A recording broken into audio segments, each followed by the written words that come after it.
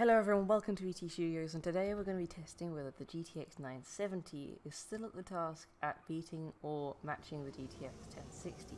970 is not the most powerful card in the world, but definitely holds its own in 1080p and 1440p tests, so today we're going to be testing whether that's still true. Both of these are the Asus Strix models of the card, the 970 being the Asus Strix GTX 970 4GB, although Nvidia had a few issues on launch and it's technically only 3.5. The 1060 on the other hand, this 3 fan card, is the uh, Republic of Gamers Strix Edition, which has 6GB of VRAM, so definitely has the edge in high resolution games.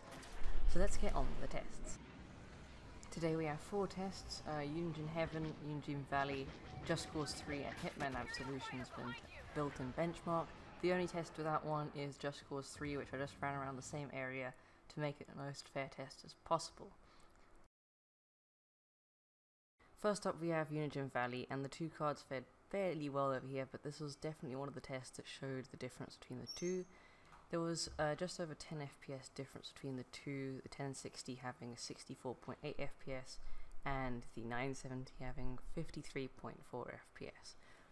Next up we have Just Cause 3 at 1080p, all high settings, and both graphics cards fared fairly well in this test as well.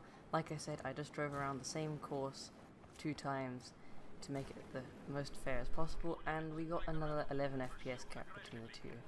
Both of them were well beyond uh, 60 FPS and they fared fairly well on this test as well. Next up we have Hitman Absolution at the ultra settings at 1080p and this is one of the tests that showed the biggest uh, gap which was a whole 15 FPS. So I don't exactly know why the 970 didn't do too well in this test, but it's just one of the outliers. Uh, with the 1060 also being below 60 FPS, it's definitely one of the ones that which showed the difference between the two.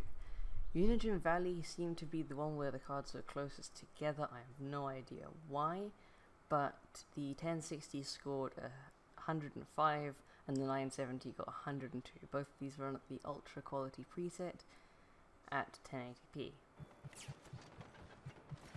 So in conclusion, what do I think? Well, the 1060 is definitely the more powerful card, and I've seen multiple reviews saying the 970 is almost exactly in between the 1063GB and the 1066GB. So I might as well keep the 970 and sell off the 1060 just because of how much more the 1060 is worth at the moment, and the 970 had almost every single test above 60 FPS with no issues whatsoever.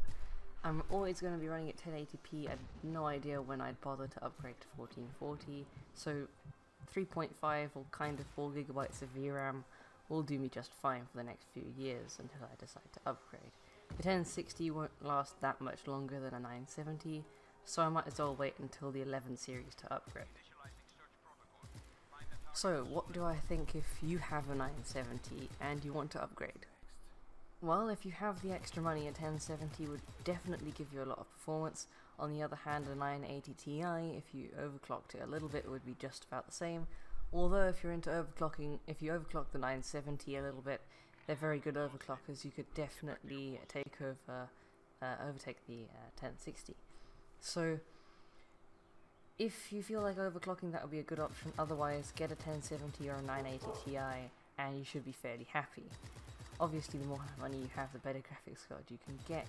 But for most people, the 970 should definitely still be a perfect card for 1080p, and I don't see why you'd need anything else unless you were going to 144Hz monitors. So I hope you enjoyed the video. If you want more comparisons like this in the future, let me know in the comments below and I will be doing some more tests with the 970, just running through Unigine Valley and a few others uh, in separate videos. So thank you everyone for watching, I hope you enjoyed, if you did, like and subscribe, and I will see you in the next one.